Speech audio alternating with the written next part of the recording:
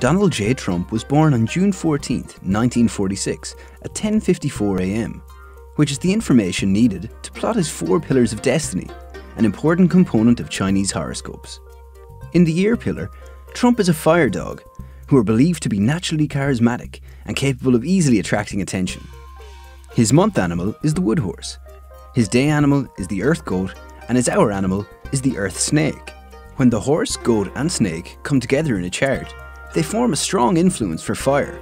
The fire element feeds the earth element, and Donald Trump is an earth person. Earth types are renowned for their determination, and they often remain immovable. Because Trump has a lot of the fire element beneath his earth persona, he can easily gather a lot of support, something he proved during last year's election. Donald Trump's Four Pillars chart is known as a follow the transformation.